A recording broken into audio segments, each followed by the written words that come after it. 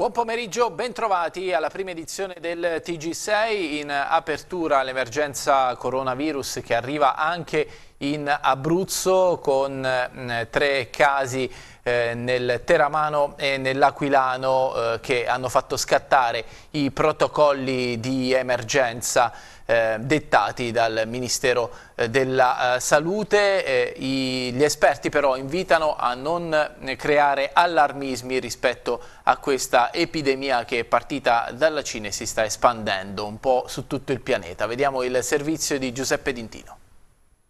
È allarme coronavirus, la patologia che in Cina ha già ucciso oltre 200 persone su quasi 10.000 contagi. Il virus è giunto anche in Italia, due turisti cinesi a Roma sono risultati positivi, ora ci sono dei casi sospetti anche in Abruzzo.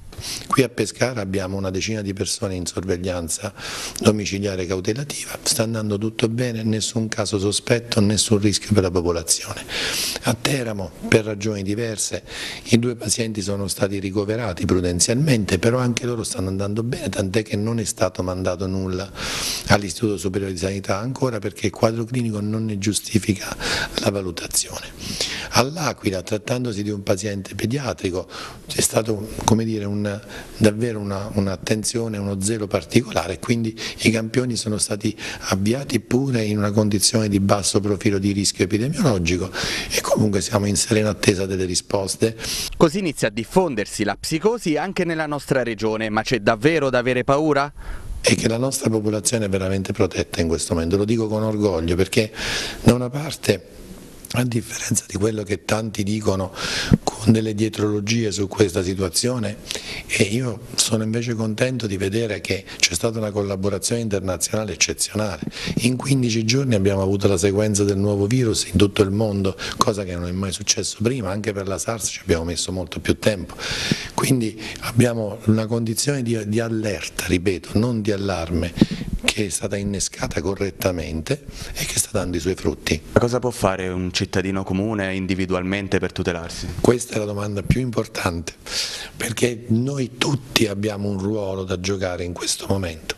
Dobbiamo prevenire le infezioni respiratorie, cioè il modo migliore per ridurre il pabulum, ridurre il rischio che ci può portare una malattia respiratoria esotica e controllare al meglio le malattie respiratorie locali.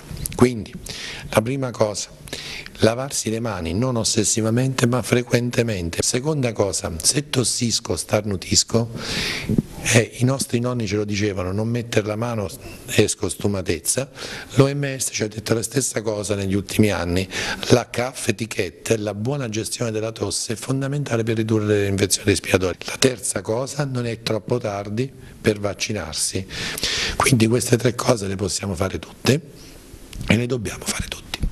Il tasso di mortalità del virus si aggira intorno al 2%, ma intanto negozi e ristoranti cinesi sono i primi a subire questa situazione a causa del pregiudizio che spesso sfocia in xenofobia.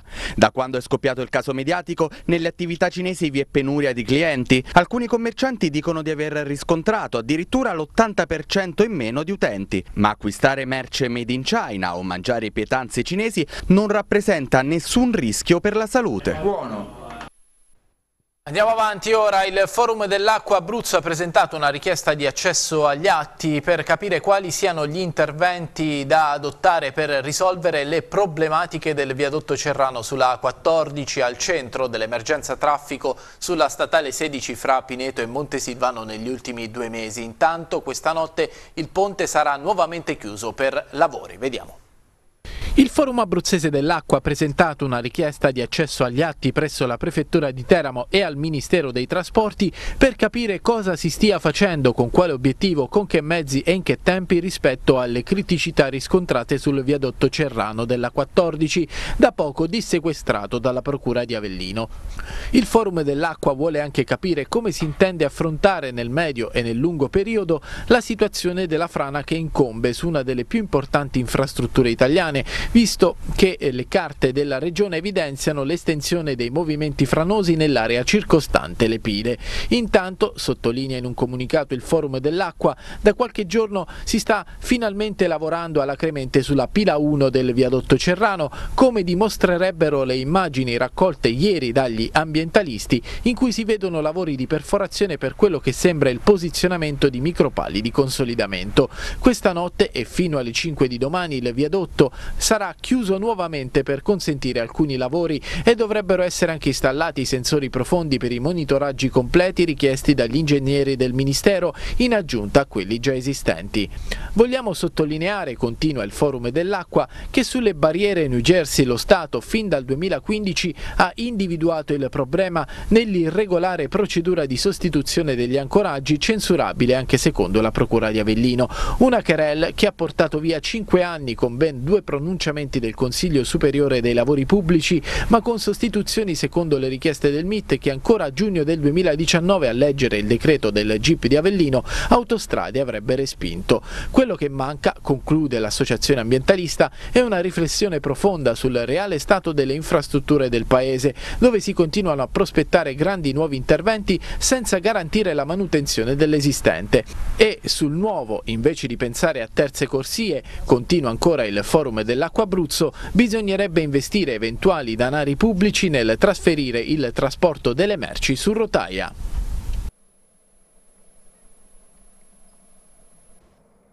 Prevenire gli incidenti stradali attraverso la formazione culturale dei ragazzi già a partire dalle scuole primarie. L'ACI Abruzzo scende in campo per tentare attraverso la leva eh, formativa di invertire la tendenza che vede un aumento delle morti sulla strada. Vediamo il servizio. Se da un lato negli ultimi anni sono aumentati i presidi di sicurezza all'interno delle automobili sempre più tecnologiche, ciò non basta a limitare il numero delle vittime di incidenti stradali, almeno in Italia. Aumenta infatti il numero dei morti sulla strada, soprattutto tra i neopatentati, cioè i più giovani. Come riportano le statistiche ACI Istat, solo nel primo semestre del 2019 infatti si sono verificati 82.048 incidenti stradali, in media 453 al giorno, 19 ogni ora, che hanno causato 1.500 505 morti, 8 al giorno, 1 ogni 3 ore e 113.765 feriti, 628 al giorno, 26 ogni ora. Dati questi che ci allontanano dall'obiettivo europeo di riduzione del 50% delle vittime della strada entro quest'anno. Il pericolo maggiore corre sulle autostrade, dove si è verificato un aumento di oltre il 25% dei decessi nonostante l'installazione dei tutor. Seguono le strade extraurbane urbane più 0,3%, per quelle urbane invece si stima una diminuzione di circa il 3%. Mentre si discute dell'aumento del limite della velocità autostradale a 150 orari solo in alcuni tratti ad esclusione dei neopatentati, l'eccesso di velocità resta l'infrazione più comune seguito dal mancato utilizzo delle cinture di sicurezza e dall'uso del cellulare. L'Abruzzo non fa eccezione rispetto ai dati nazionali, per questo l'ACI sta mettendo in atto campagne di informazione e formazione che partono già dai ragazzi delle elementari. Ma siamo perfettamente d'accordo che non bisogna per i neo, non, non bisogna mai alzare il limite di velocità, ma soprattutto, e questo significa prevenzione secondaria, ma ripeto è fondamentale far sì che questi ragazzi vengano continuamente informati e soprattutto eh, dire, formati nella sicurezza. Ovviamente noi come ha visto in queste diciamo, giornate qui al centro eh, Universo di Silvi stiamo parlando di sicurezza sulla strada ma di sicurezza in senso lato perché deve diventare una cultura. Se noi facciamo prevenzione praticamente a 360 gradi possiamo dire, evitare errori non solo nella sicurezza sulla strada ma errori di vita e quindi è una formazione che per noi è fondamentale per i ragazzi a partire dalle, dalle prime classi dell'elementare. Cambiamo argomento, sono iniziati a Torino di Sangro i lavori di rinforzo dei frangiflutti di Borgata Marina con la spiaggia gravemente danneggiata dalla mareggiata dello scorso novembre. L'intervento di somma urgenza è finanziato da Regione Abruzzo. Vediamo il servizio. Almeno una parziale soddisfazione per Torino di Sangro che da anni lamenta un'erosione costiera implacabile che distrugge, consuma, condiziona la vocazione turistico-balneare della località. Da metà gennaio sono infatti iniziati i lavori di rinforzo dei frangiflutti davanti al viale Costa Verde in località Borgata Marina con la spiaggia e alcune strutture balneari gravemente danneggiate dalla mareggiata del 12 e del 13 novembre scorsi. In due giorni giorni i flutti divorarono gran parte del litorale nord con allagamenti e onde che arrivarono sin sulla strada. La richiesta del sindaco Nino Di Fonso di porre parziale difesa al litorale è stata accolta dalla regione che per somma urgenza ha finanziato un intervento di 200.000 euro. I lavori affidati alla società In Mare di Termoli prevedono il rinforzo di quattro barriere frangiflutti a nord e la chiusura del varco marino tra la quarta e la quinta scogliera per evitare l'ingresso delle correnti marine che arrivavano a lambire con le onde anche le abitazioni. Resta da risolvere però la questione più critica, quella di Contrada Lago Dragoni, dove chilometri di tracciato sono franati in mare. Il comune di Torino di Sangro ha 1.200.000 euro a disposizione di fondi CIPE per realizzare due pennelli e una barriera sommersa a difesa anche della statale 16. Restano scoperti però centinaia di metri di litorale a sud. L'emergenza insomma continua. Andiamo nella Marsica dove è stato siglato il protocollo d'intesa per rendere attivo il reddito di cittadinanza attraverso dei tirocini formativi nelle aziende convenzionate. Il progetto è, è pilota in Abruzzo ed è terzo in Italia. Vediamo il servizio di Gioia Chiostri per aiutare concretamente e tendere una mano come si deve, prospettando qualcosa di più dell'inflazionato, le faremo sapere. Questa mattina nella sala conferenze della comunità montana Montagna Marzicana è stato siglato il primo protocollo d'intesa in Regione Abruzzo che fa dialogare tra di loro cittadini in difficoltà economica, percipienti il reddito di cittadinanza e tirocini per prospettive di lavoro a lungo termine. Protocollo unico in Abruzzo e ci sono pochi, pochi in Italia. Questo è uno strumento eh, in realtà ideato dentro questa comunità montana, eh, l'idea è stata un po' della nostra responsabile Sabrina Frezza, responsabile del servizio che ha lanciato questa idea, noi l'abbiamo raccolta e oggi siamo proprio alla firma del protocollo d'intesa. Cosa c'è all'interno di questo protocollo d'intesa? Eh, le mille famiglie della Marsia che percepiscono il reddito di cittadinanza hanno la possibilità di ehm, fare inclusione e formazione lavorativa, non più un reddito di cittadinanza puramente assistenzialistico, ma un qualcosa in più. È la comunità montana Montagna Marzicana a farsi promotrice del progetto, terzo per sua natura e vocazione in Italia. Quali sono le associazioni di categoria del territorio che hanno detto sì a questo protocollo e quindi che hanno ovviamente risposto positivamente a tutto il progetto? Quasi tutte, eh, la CIA, la Confagricoltura, Confindustria, Confesercenti, Confcommercio, eh, Confartigianato e CNA. È un protocollo aperto, è, si, chiude, si, firma oggi ma rimane aperto, volevamo ehm, proporre uno strumento inclusivo al 100%. Per concludere mettiamoci dalla parte del tirocinante, una volta che sarà concluso questo tirocinio? Una volta che sarà concluso questo tirocinio innanzitutto ha una formazione in più, ha un bagaglio culturale in più, l'azienda che lo ha ospitato si mette a sua disposizione per diciamo, eh, usare termini semplicistici, imparargli il mestiere e quindi si può rimettere mettere sul mercato attraverso la sinergia che abbiamo con il centro per l'impiego per eh, trovare magari una sistemazione lavorativa. A Lanciano sono durati quattro mesi i lavori di sgombero e disinfestazione dello storico palazzo Napolitani Berenga. Il sindaco Pupillo vuole trasformarlo eh, in una pinacoteca, in un museo. Vediamo il servizio. Libero dall'occupazione abusiva con lavori durati quattro mesi tra materiali da scartare e disinfestazione costati 30.000 euro, Palazzo Napolitani Berenga nella Lanciano storica è giacimento culturale della città. Così lo ha definito il sindaco Mario Pupillo nella visita guidata con la stampa e l'esperto Domenico Maria del Bello che ha illustrato le caratteristiche storico-artistiche dell'antica dimora nobiliare. Palazzo Napolitani Berenga è uno dei 100 palazzi storici storici di Lanciano, ma è uno dei più grandi e dei più antichi ed era fino a qualche decennio fa anche uno dei meglio conservati perché fino agli anni Ottanta era rimasto ininterrottamente di proprietà degli eredi della famiglia Napolitani Berenga.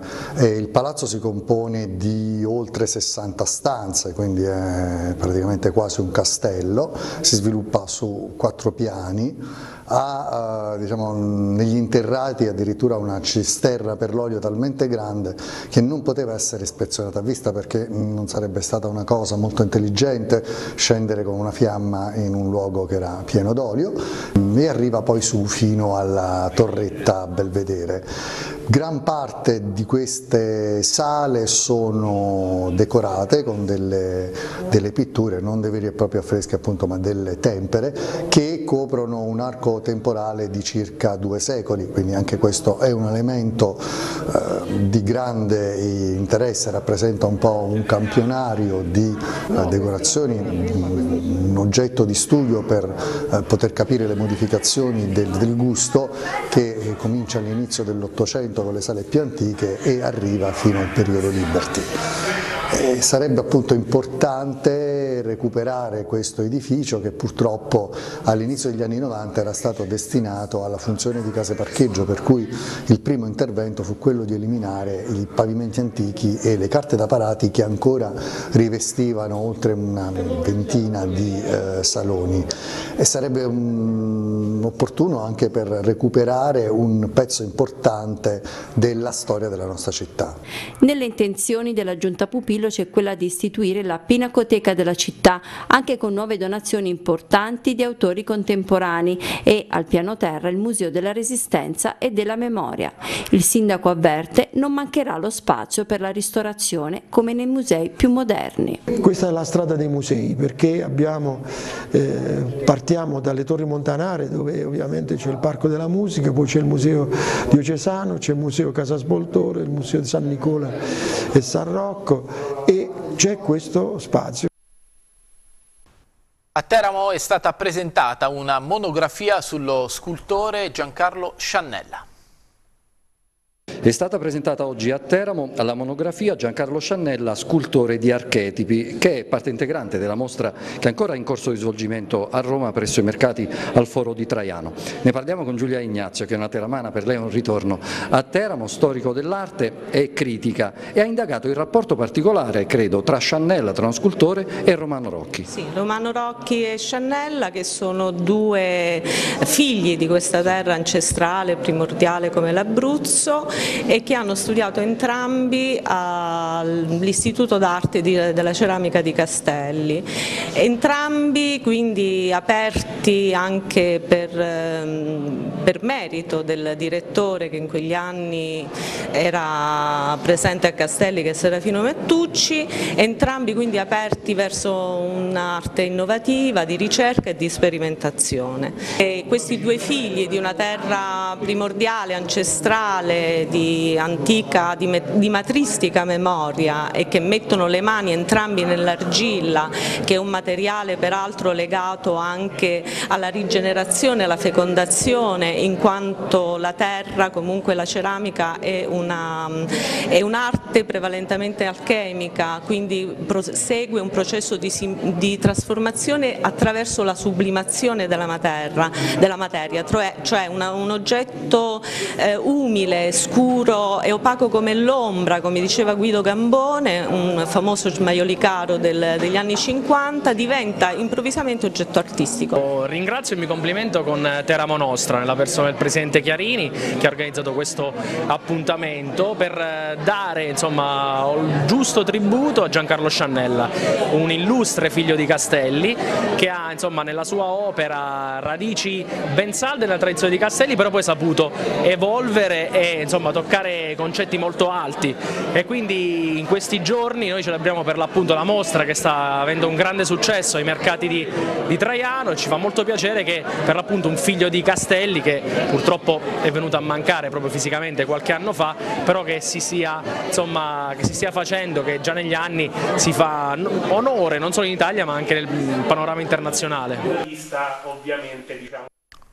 Siamo arrivati alla pagina dello sport che apriamo parlando di Serie B e dunque del eh, Pescara. A poche ore dalla chiusura del calciomercato il presidente Daniele Sebastiani ha parlato ai nostri microfoni dei casi più spinosi, il mancato arrivo del centravanti e l'addio improvviso di Macin passato al Monza. Ascoltiamolo nell'intervista di Andrea Costantini cosa non è andato affinché arrivasse il nuovo centravanti? l'obiettivo dichiarato era di prendere un centravanti che avesse delle caratteristiche come volevamo noi e soprattutto che ci potesse far fare un salto di qualità eh, il salto di qualità sul mercato te lo potevano far fare eventualmente in due, eh, non si sono mossi, quindi è inutile che prendiamo un centravanti per prendere un centravanti per aggiungerli agli altri due, perché gli altri due che abbiamo li consideriamo forti, quindi se prendevamo uno che sulla carta poteva essere più forte è un conto, ma eh, prendere per prendere non, non, serve a nulla. Ecco, per Melchiori e Iemello cosa non è andato per il verso giusto? Ma noi abbiamo, credo che abbiamo fatto un'offerta importante, forse al di là delle possibilità del pescato cara, però è evidente che le, le, i giocatori hanno una proprietà e la proprietà decide, ci mancherebbe, non, non hanno de, a un certo punto deciso di farli uscire e quindi non si è potuto fare, ma eh, ognuno decide in casa sua. Poteva uscire anche Palmieri in questa trattativa? Nel modo più assoluto perché ho sempre detto di no dall'inizio, eh, anche noi abbiamo ricevuto in questi giorni, io non ho detto niente a nessuno perché ho dato subito il mio... Uh, eh, il mio no eh, immediato, abbiamo ricevuto delle offerte per Galano, eh, ma Galano è evidente, è, mia, è di mia proprietà, decido io che farci. Eh, Macin è un po' eh, l'addio shock, lei insomma l'abbiamo già ascoltata, ha parlato tra virgolette di scelta di cuore ma facendo intendere che in realtà c'è un qualcosa di diciamolo pure economico sotto. Ma ci mancherebbe, scelta di cuore era una battuta evidente, no? eh, eh, non si può pensare di tenere bloccato, io ancora non partito nelle trattative, il ragazzo non c'era più a pescare, quindi evidentemente è una scelta sicuramente non di cuore, però io lo capisco anche il ragazzo, cioè, se tu oggi guadagni 100 e te ne offrono 5 volte tanto e ti cambia la vita, probabilmente te ne freghi di pescare, del pescare, di Sebastiani e di tutto quanto il resto. Non c'era modo di opporsi facendo valere l'accordo di prestito stipulato a inizio stagione? Ma non c'era modo di opporsi perché la volontà del giocatore non era quella di tornare a pescare, che è diversa da, da avere o non avere la possibilità di opporsi. Eh, il giocatore addirittura mi ha detto personalmente che avrebbe fatto un biglietto per andarsene a Madrid e quindi è evidente che a quel punto c'è poco da, da, da, ragionare. Ecco, i tifosi hanno mormorato, è stato esposto questo striscione sotto la curva nord che proprio questa mattina è stato fatto rimuovere, insomma ehm, che, che eh, messaggio vuole lanciare alla tifoseria che invece esprime eh, questa preoccupazione? Preoccupazione di cosa? Fatemi capire che, che preoccupazione c'è. Evidentemente non sono contenti del mercato mercato che stato fatto? Eh, prossima, il prossimo anno ci andranno loro a fare il mercato, facciamo prima così si renderanno conto innanzitutto di quelli che sono i vincoli per iscrivere una società a un campionato e poi magari saranno più bravi di me a fare il mercato. Io purtroppo non posso controbattere a chi non conosce, io se faccio il tifoso faccio il tifoso, se non conosco le regole del gioco faccio fatica a parlare. A proposito di Pescara, dopo la conferma di Nicola Legrottaglie sulla panchina della prima squadra dovrebbe essere Pasquale Catalano a guidare la primavera. L'ex calciatore nelle ultime stagioni ha guidato il Prato per poi ehm, sedere sulla panchina della primavera del Parma fino allo scorso giugno. Manca ancora l'ufficialità ma ehm, eh, dunque sarà Catalano a guidare i giovani biancazzurri impegnati nel campionato di eh, Primavera 1 attualmente al quattordicesimo posto in classifica quota 15 punti e che oggi se la vedranno con la Lazio nella giornata numero 17 del campionato. Ora la Serie C, terminata la sessione invernale di calciomercato per il Teramo e di nuovo tempo di campionato. Ci sarà un rende falcidiato dalle assenze, mentre in casa biancorossa ancora un paio di ballottaggi per il tecnico eh, Tedino che dunque dovrà sciogliere le riserve. Vediamo il servizio di Jacopo Forcella. Chiuso il mercato senza botti in attacco per il Teramo domani è di nuovo campionato in una settimana standard che però per via delle ultime trattative standard non poteva per forza di cose esserlo. Il diavolo dunque rimane così com'è e già domani Bruno Tedino dovrà trovare delle contromisure a quella sterilità offensiva che oggettivamente sta ancorando il diavolo al settimo posto in classifica ma con un solco amplissimo dalle prime. Bisognerà valorizzare Birrigea e soprattutto Minelli che ad inizio mercato sembrava poter lasciare la maglia biancorossa. Così non è stato Ma con il Rende davanti, almeno in avvio, ci sarà quella che ormai può essere definita la coppia titolare, Bombaggi-Magnaghi. Il capocannoniere della formazione biancorossa è un attaccante di fatto, l'intesa con la punta sembra funzionare bene, ma è evidente che i gol non possono venire solo ed esclusivamente da lui. Il modulo sarà il 4-3-1-2. La difesa dovrebbe vedere Soprano e Cristini che rientra dopo la gara saltata per turnover a Castellammare di Stabia con Cancellotti e Tentardini sulle corsie laterali. A centrocampo sarà ballottaggio tra Rigoni e Viero per il ruolo di costruttore di gioco davanti alla difesa, mentre gli interni non dovrebbero subire variazioni. Ilaria e Santoro giocheranno da mezzeali con la prima linea che vedrà Costa Ferreira confermato nella posizione tra le linee, ballottaggio probabile anche qui con Domenico Mungo e il duo già detto davanti. Nel rende tanti out per squalifica a partire da Vivacqua e Libertazzi che di fatto sguarniranno la prima linea calabrese che anche per questo nell'ultimo giorno di mercato ha portato a casa tre nuovi elementi. Il primo è Gaetano Navas, centrocampista classe 1997, nella prima parte della stagione ha vestito la maglia del Mantova in Serie D collezionando 14 presenze. In carriera ha militato con la Paganese, la Regina, l'Acragas, la Nocerina, il Grosseto, il Potenza e l'Arzanese collezionando 83 presenze tra Serie C e Serie D. In prestito dal Verona è arrivato anche Alexieis, centrocampista lettone classe 1999 che ha 19 presenze con la formazione primavera. A disposizione di mister Rigoli sarà anche il difensore Alessandro Negri, classe 2000, il difensore Scuola Milan ha militato con la primavera rossonera. Ancora un passo indietro di categoria in Serie D, oggi anticipa il Chieti contro il Matelica ad Ortona, ci colleghiamo in diretta con Stefano Recanati che è sul campo per seguire la partita. A te Stefano per le ultime.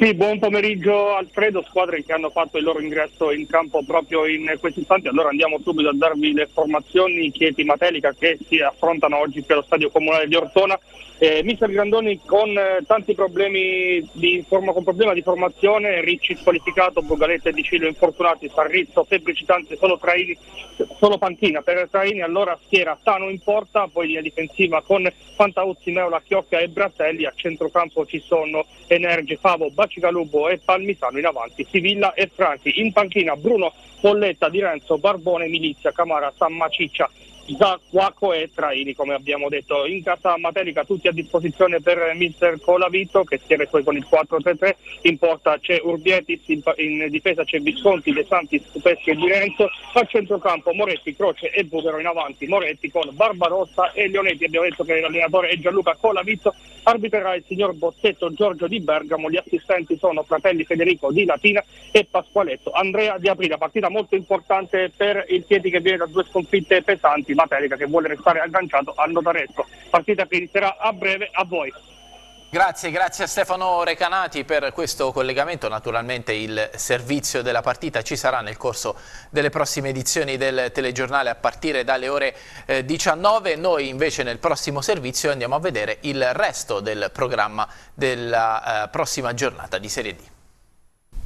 Il risultato dell'anticipo del sabato tra Chieti e Matelica condizionerà in alto e in basso anche gli equilibri della giornata numero 22 in Serie D, perché in vetta al Vincenzo Savini, il notaresco capolista del raggruppamento ospita la Recanatese. Fino a qualche settimana fa si pensava che questa gara potesse essere decisiva per assegnare i primi due posti, ma la parte finale del 2019 ha relegato i leopardiani ad una distanza dai rossoblù troppo marcata per poter pensare di riaprire i giochi. L'inizio del girone di ritorno per la squadra di Giampaolo è stato discreto ma non eccezionale. In più le assenze tra i marchigiani saranno pesantissime. Borrelli è squalificato, ma soprattutto un tendine infiammato toglierà dalla gara Manuel Pera, vero pericolo per la retroguardia notareschina. Out anche Nodari. Insomma, non male per la squadra di Vagnoni, che invece in attacco ritrova Sansovini dopo le due giornate di squalifica e Mele in mediana. Il momento di appannamento però c'è, ma aver tenuto botta nel periodo complicato può dare ulteriore spinta verso il rush finale di campionato.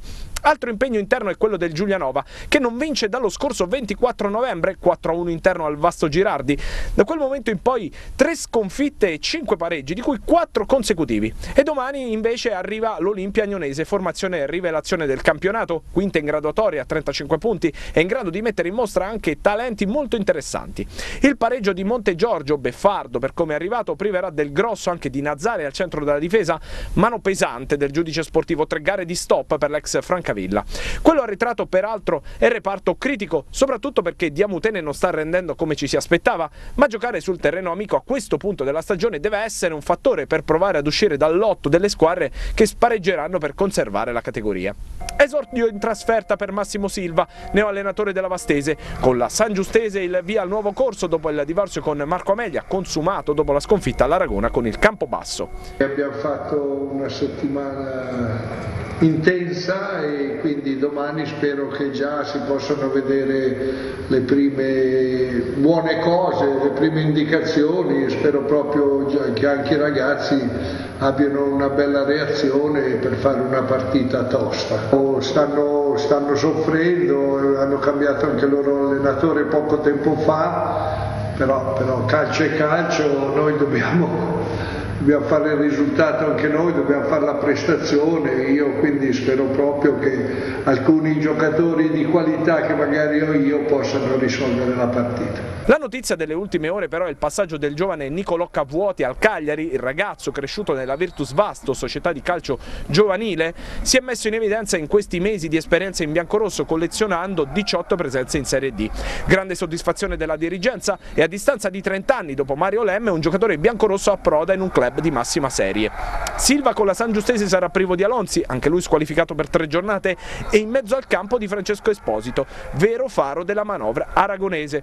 Trasferta al nuovo Romagnoli per il Pineto, di fronte alla squadra più in palla del momento. Il campo basso di Mirko Cudini viaggia come un treno, 10 vittorie e 3 pareggi nelle ultime 13 partite, un rullino impressionante che ha portato i Molisani a meno 1 dal Matelica. Rossoblu senza Martino espulso a Vasto sei giorni fa, assenza molto più pesante per il Pineto di Amaolo, privo di Marianeschi in mezzo al campo, ma che deve riconquistare a tutti i costi il piazzamento playoff insidiato proprio dall'Agnonese. Ma noi come ho detto in altre circostanze andiamo alla ricerca di una prestazione, una prestazione importante.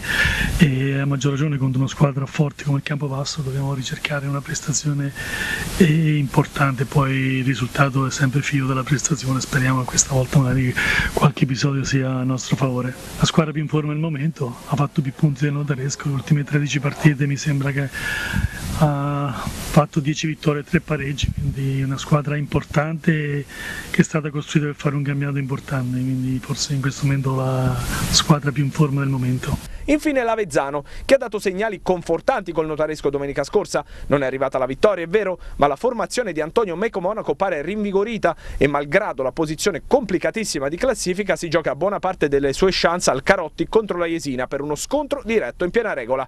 Qualche ora fa è arrivato anche il via libera per il trasferimento della punta romena Ciolacu, Leoncelli fanalino di quota a quota 12 punti, un successo esterno dell'Avezzano che manca l'appuntamento con i tre punti dal 10 novembre scorso, trasferta anche in quel caso col Porto Sant'Elpidio, può dare nuovo slancio ad una rimonta comunque molto difficile. È tutto per questa edizione del TG6, prossimo appuntamento alle ore 19, grazie per averci seguito e buon proseguimento con i nostri programmi.